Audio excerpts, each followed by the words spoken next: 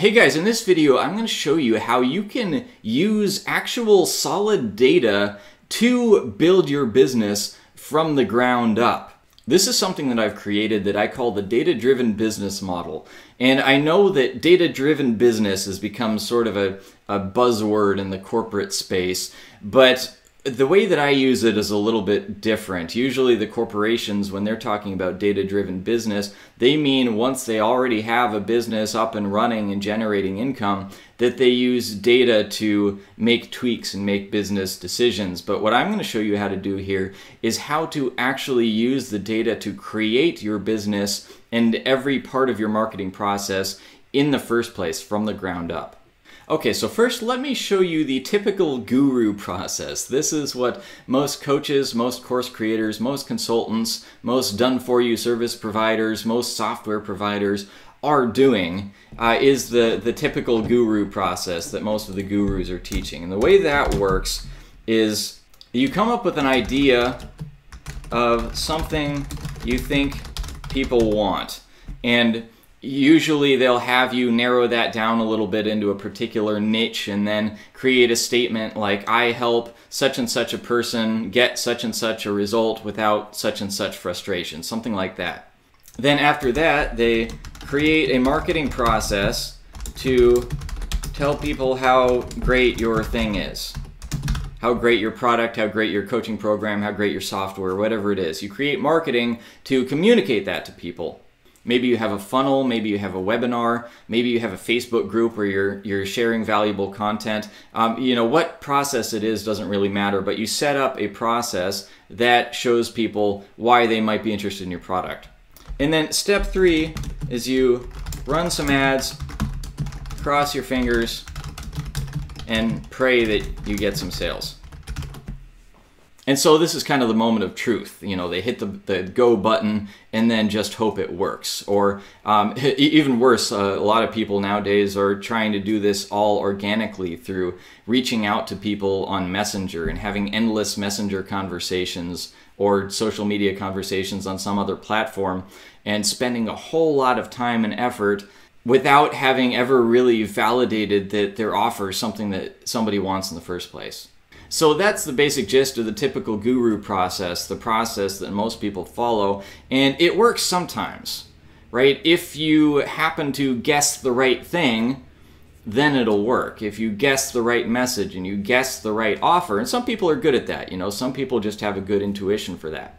And that's why you see the gurus have good success stories, right? They have people that succeed using their program, but they have a whole lot more people who don't succeed. So what I've created as an alternative to this process is a process where we remove luck from the equation. We remove guesswork from the equation and replace it with data.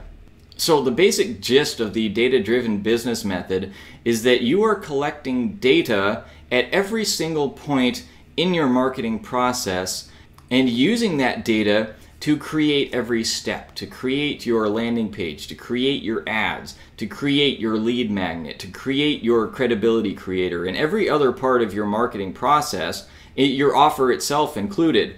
You are creating based on the feedback that you get from the market. So let me show you what that actual process looks like.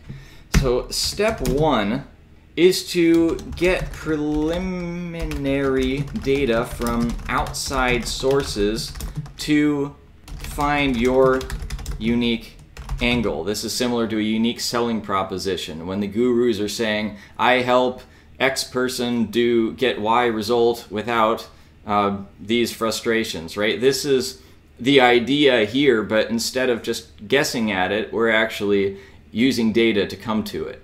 Step two is headline testing for lead magnet. You need something that is going to get people's attention, get people into your ecosystem. That thing is called a lead magnet. Some lead magnets are very attractive, others not so much. Now, instead of trying to guess what is going to be attractive to your audience, you're actually going to test that and use the data to tell you what is the most attractive lead magnet. Third step is to get funnel feedback for landing page, lead magnet, credibility, creator, ads, and offer. This is the most important step in my process. This is where you are actually getting real people's feedback on what they need, what they're frustrated with, what they would like to happen, so that you can take the things that people tell you that they want and repeat it back to them in their own words. So if you've ever had any trouble with copywriting, that you've been not sure what to say in your ads, not sure what to say on your landing page, etc., this is absolute gold. They will tell you what to say, so there's no guesswork involved. Okay, step four is presentation feedback for beating objections. This is where you are going to present your method, what you have to offer, and give people a chance to give you feedback. And they'll have all sorts of reasons why, oh, it's, you know, maybe this is great, but it's not going to work for me because I'm in XYZ situation. Right? You're going to get a whole bunch of objections, a whole bunch of reasons why the person doesn't want to continue on in the process. And so you're going to catalog those, you're going to be aware of them, and you're going to have a formulated answer for every one of them. And not only are you going to be able to answer the objections, but you're going to be able to preempt them before they ever come up in the first place. So once you see an objection coming up a lot of times, you know that it's coming. So in your marketing process, you already talk about why it works for people in that particular situation. So that's step four. Step five is purchase feedback for identifying compelling messages. This is when somebody buys your product, you want to get their feedback about what made them buy, right? What got their attention? What got their interest? What finally flipped the switch that said, okay, I want this. This is right for me. If you can zero down on what the most compelling things that you have to say in your messaging are, then you can double down on those. You can repeat those. You can make them more prominent. And this will do wonders for your sales process. Okay, and then the last step is completion feedback for driving customer success. What that means is that you get feedback from your clients after they have finished using your product, or if you're a coach, after they've finished your coaching program.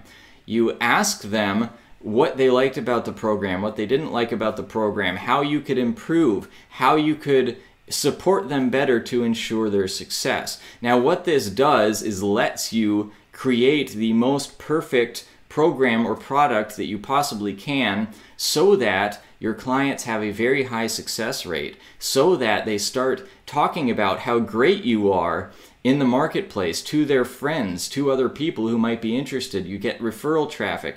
They're also happy to give you testimonials. They tell you, they'll, they'll uh, send you a message that you can screenshot saying how great your product is, or they'll make a video talking about how great your product is.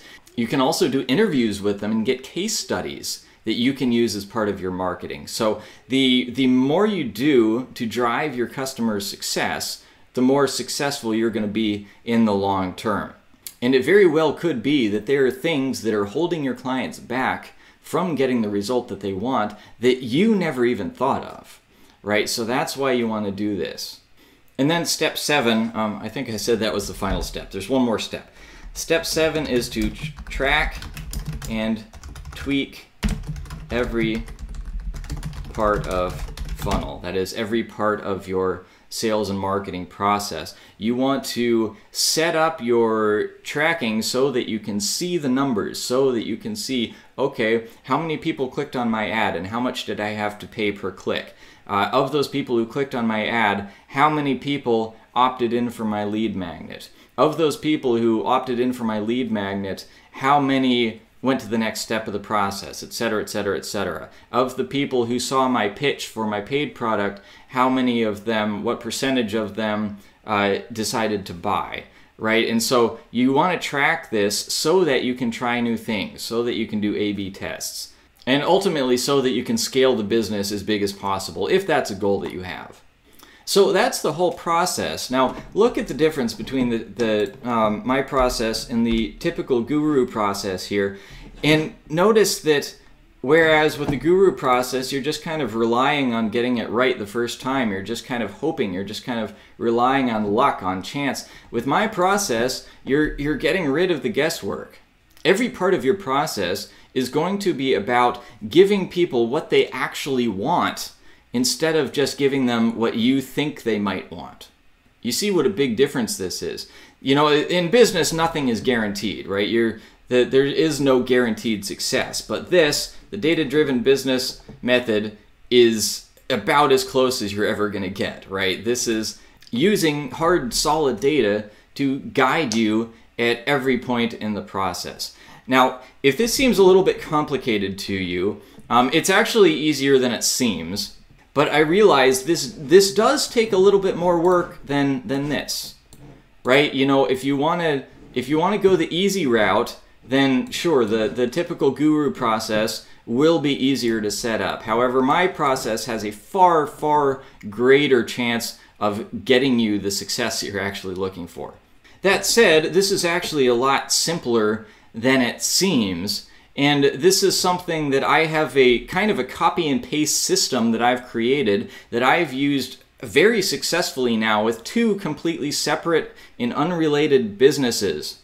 And so if you're really interested, you want to cut out the guesswork, you want to cut out the uncertainty, you want to cut out the just kind of sitting there crossing your fingers and hoping that something works, I'm taking on a few folks that I'm going to personally mentor throughout this process, and I'm actually going to give you my entire system, right? So I'm going to give you my funnel that you can just basically copy and paste. You can get rid of my text and put in your text. I'm going to give you emails that you can send. For everything, all the steps of the, the process here, um, I'm going to give you the words to say where I can. You know, it's going to vary a little bit depending on your business, but I'm going to tell you exactly what to say. And if we have to modify it for your business, we'll talk live and I will tell you exactly what to say. So basically, I'm just giving you my system and working with you live to implement it for your business.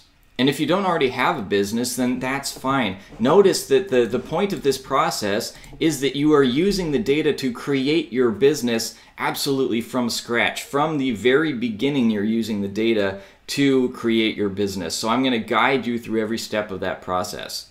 So if that's something that you'd be interested in, I will put a link in the description where you can apply to be part of that program. Now, this program is not going to be cheap and it is going to require some dedication. This is going to require some work on your part.